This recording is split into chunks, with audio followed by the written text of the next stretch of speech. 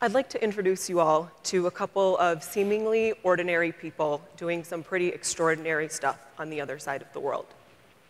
The first person I'd like to introduce you to is Lakshmi Rani. She lives in a village outside of Calcutta in eastern India. She got married and had children at a really young age, and her education was halted before she could even finish primary school.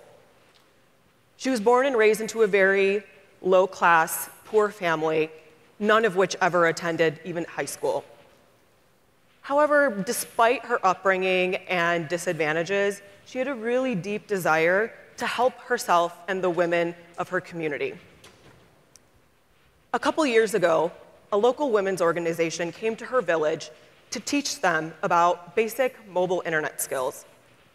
Lakshmi took this as the opportunity she had been waiting for to change her life. When she found out that a smartphone holds all the information to the world at the tip of her fingers, she was astounded. She thought the internet was for listening to music and maybe looking up pictures, and she thought that you could only do this on a computer. When she told her husband about the program that came to India in, their, in her village, he was very supportive and encouraging. The other, men in her village, however, were a little apprehensive because they were unsure of what the internet might bring to the village and potentially change the social culture and landscape. The women, on the other hand, were interested, but they didn't even know how to hold a cell phone, let alone use one. Lakshmi decided to start small. So she started with teaching them really simple and very important skills like how to take a selfie and looking up recipes that they could cook meals for their family with. After she got the gist of it and learned the basics, she started training and teaching other members of her village. She used the information she had at her hand to extract information on infrastructure, farming, and agriculture technology to impart upon her village. She even used it to look up new stitching patterns for the neighboring village's women so they could amplify their own careers in their studios and salons. One of her proudest moments came when she was able to stop an incident of child marriage. She pulled up information on her smartphone about the government laws on child marriage and information on how it's very damaging and harmful for the girl. And she brought it to the girl's parents, and she stopped it. She's now 23, and she hopes to learn how to use a laptop. The second person I'd like to introduce you to is Parvati Kushwaha. She is also from a village, but on the western side of India, outside of a state called Rajasthan. She, got, she, like Lakshmi, got married at a very young age, but she was able to go to school for a couple of years because her husband allowed her to. But once she had children, she was required to stay at home and, of course, take care of the household and manage it. She also had a very deep driving passion and desire to do more for the greater good and for her community and to build a better quality of life for herself and for her community members. When the same women's federation that Lakshmi was a part of came to her village, she also realized this as a great opportunity to do something for the greater good. She learned basic mobile internet skills as well. Very basic things, also like taking selfies, looking up recipes, but also how to navigate the Google search app through voice. She realized that a lot of the women in her village, as with many villages in India, have very poor literacy rates. So reading and writing or typing into Google search is not an option for them. One of the skills that was imparted upon her that she shared with her community was how to search by voice. One of her proudest moments came from helping a disabled couple in her community learn how to look up information on how to use this abundance of clay they had to build pots and pans and regular household things that they could sell. And they were able to have and build a sustainable income because of it. With the information and power in her hands, Parvati says she has nothing to fear. The stories of these two women aren't exactly new. It's a narrative we've heard of, and they arise from women who are born and raised in third world countries. They get married, they have kids at a very young age. School and education becomes no longer part of the picture, or maybe it never even was to begin with. There's an inaccessibility to information and technology. And that information and technology is the type of information and technology that they need to thrive and grow. Their growth becomes stunted, and they become sucked in to this way of life. However, these two women, along with thousands of others, are changing that narrative. And that tired old narrative of getting married at a young age and having children and never opening up a book and not learning is no longer the case for a lot of women in one of the fastest growing democracies and economies in the world, and one of the largest ones, too. And it's all happening through this really small program that launched back in July of 2015 called Internet Saathi.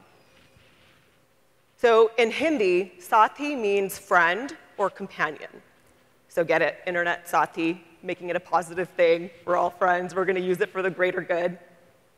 So these women are taking the knowledge that they're learning through this group, and again, imparting it to their fellow villagers, and then going into the larger rural community and continuing to impart the wisdom that they're learning.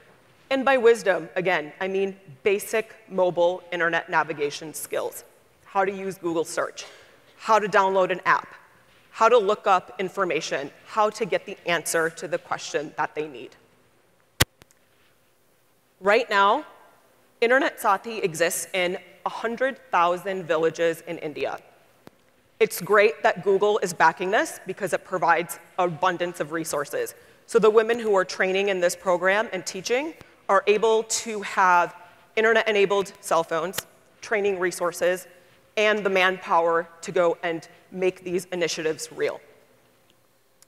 Google's goal and Internet Saathi's goal is over the next few years to expand this to, from 100,000 to 300,000 villages across India. I'm super excited to be joining for a week-long project at the end of the year to help in that expansion. So let's go back to Google search. These women in India and in rural villages and communities across the globe, they have thought for a long time that the internet is of no value to them because they have this requirement or prerequisite of reading and writing. How is it going to work for them? It's such an advanced technology. We knew from a previous story that I told that a lot of them didn't even know how to hold a cell phone, let alone use one.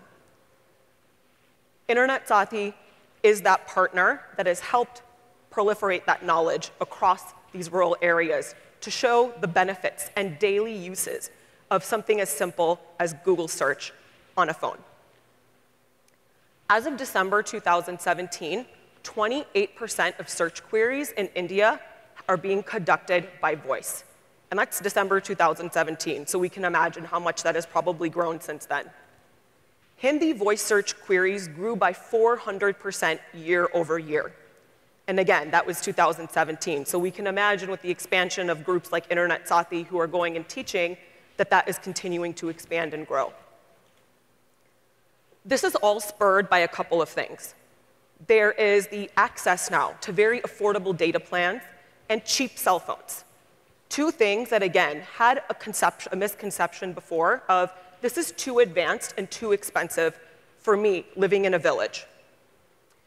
Internet Saathi has helped bridge that gap between technology and education and affordability so that information is accessible for everyone. Google's goal is to make the web more inclusive. And one of the ways that they're doing that, and one of the most real ways that they're doing that, is by bringing down language barriers. Ultimately, their goal is to make the world more inclusive. So how did voice search become so intelligent where it can function in a, such a diverse landscape like India that has so many different languages, so many different dialects, and even within the country, so many different official languages? It's this wonderful thing we always hear about called machine learning. And it's activated in two segments The first part is called automatic speech recognition, ASR, and the second is called natural language understanding, NLU. Probably hear lots of variations of these if you read about it, but it all basically stems up to automatic speech recognition. So the first segment, automatic speech recognition, is really what happens when we process sound and then we understand it. Think about it from a human being perspective, just from a biological perspective. When we hear a sound, our brain processes that sound signal and then it transforms that into something we can understand. A machine does it in pretty much the same way. The natural language understanding part of it gets really fancy and cool. This is where the machine is able to understand the nuances of language and things like accents, dialects, um, grammatical variations, even things like colloquial expressions. One of my favorite examples is how does Google understand if I'm saying pop in Michigan, Coke in Dallas, and soda in New York, and we're all talking about the same thing? It's because of this amazing machine learning technology that is powering voice search. Google's speech recognition now supports 119 different languages, and 30 were added last year. Nine of those 30 languages were from the Indian subcontinent. So going back to the complexity of India and voice search technology and the languages that exist there, 22 official languages, 13 different scripts, and 720 plus dialects. So you can imagine how complicated it must be to bring a very complex technology into a very complex ecosystem. They use neural machine translation between English and nine widely used Indian languages to make their learning model more powerful.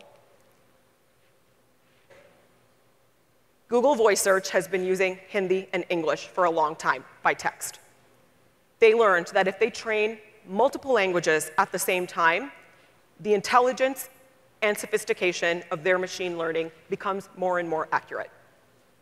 That's great, so the machine can do all of that. But it's up to us to build and provide easily consumable and accessible content for those frameworks. For those of us working in the technology industry, there are three key elements to optimize for and within the voice search framework from a productization standpoint.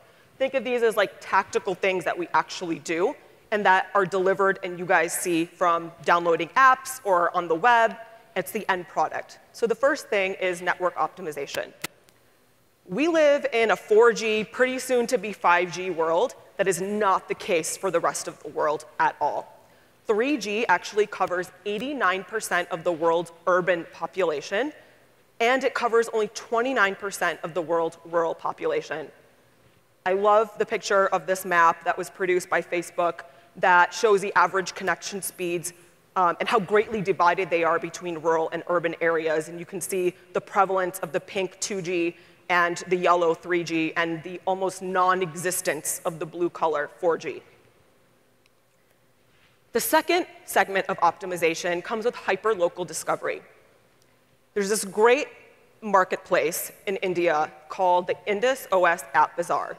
It's the fastest growing regional marketplace because it exists in 12 different languages, and it's the world's first regional operating system. They've built it so you don't even need an email address. They use phone numbers. They also don't even take credit cards. You can use mobile carrier billing. They deliver recommendations to you based on your language and location preferences. And on top of all of that, it's a very simple user interface. Third is optimizing for devices. Pretty sure the majority of us in here have fancy iPhones, Samsung Galaxies, Google Pixels. That's also not a reality for the majority of the rest of the world.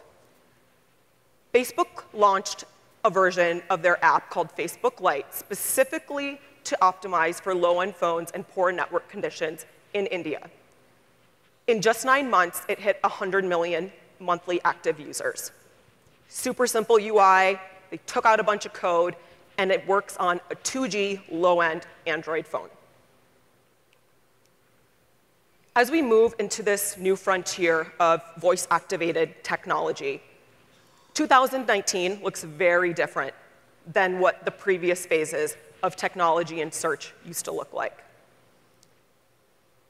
Information is becoming so, so readily available, literally at the tip of our fingers. And it's available now for everyone, from the investment banker in Manhattan to the Parvatis and Lakshmis of rural India. So as we work and continue in the technology industry to make products and make them for a global ecosystem, let's think about not just how to optimize for this next billion people, but let's think about how to empower them too. Thank you.